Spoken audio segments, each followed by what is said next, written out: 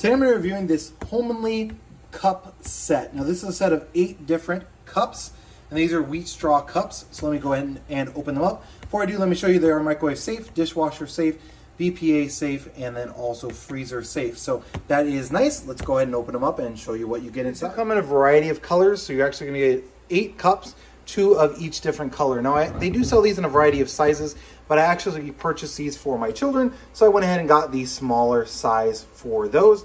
These are just traditional kitchen cups, however, them being dishwasher safe and microwave safe is important, and they don't hold a whole lot, which was great for our purposes. Again, we're using them for our kids. Now let me go ahead and measure them just to show you exactly how tall they are, because it's kind of hard to see just, you know, wrapped around my hand. So actual height of these cups is going to be a little over four inches, just a smidge, maybe four and a quarter, something like that. And then when you have all eight of them stacked up, it's going to be somewhere around 12 inches. Let me double check that.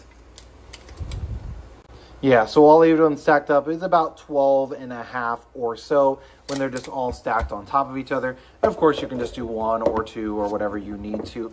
But overall, this is definitely a good set. This specific size, like I said, we purchased for my kids. So it's a great size for them. Gives them plenty of water or liquids in a cup without having to worry about them spilling a giant cup if they happen to spill it. So overall, definitely a good purchase for our family.